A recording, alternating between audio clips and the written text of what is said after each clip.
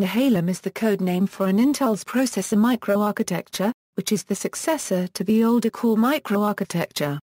A previous system with two Nehalem processors was shown at Intel Developer Forum in 2007, and the first processor released with the Nehalem architecture was the desktop Core i7, which was released in November 2008.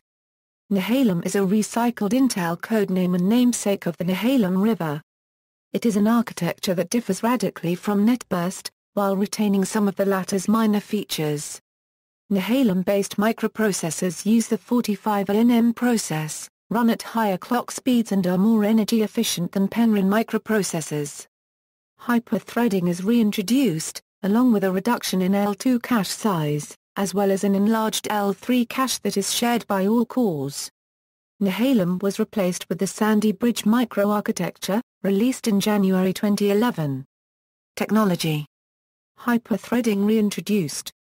For a Euro 12 MB L3 cache, second-level branch predictor and translation lookaside buffer, native quad and octa-core processors, Intel QuickPath interconnect in high-end models replacing the legacy front-side bus, 64 KB L1 cache core and 256 KB L2 cache core. Integration of PCI Express and DMI into the processor in mid-range models, replacing the Northbridge, integrated memory controller supporting two or three memory channels of DDR3 SDRAM or 4 FBDIMM2 channels, second-generation Intel virtualization technology, which introduced extended page table support, virtual processor identifiers, and non-maskable interrupt window exiting, SSE 4.2 and POPCNT instructions, MacroOp Fusion now works in 64-bit mode.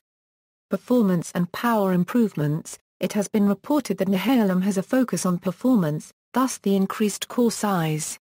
Compared to Penryn, Nehalem has 10 to 25% more single-threaded performance slash 20 to 100% more multi-threaded performance at the same power level, 30% lower power consumption for the same performance. Nehalem provides a 15 a euro 20% clock-for-clock increase in performance per core, average. Overclocking is possible with Bloomfield processors and the X58 chipset.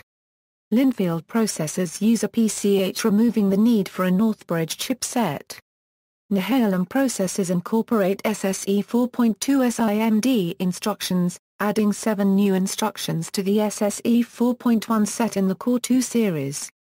The Nehalem architecture reduces atomic operation latency by 50% in an attempt to eliminate atomic overhead.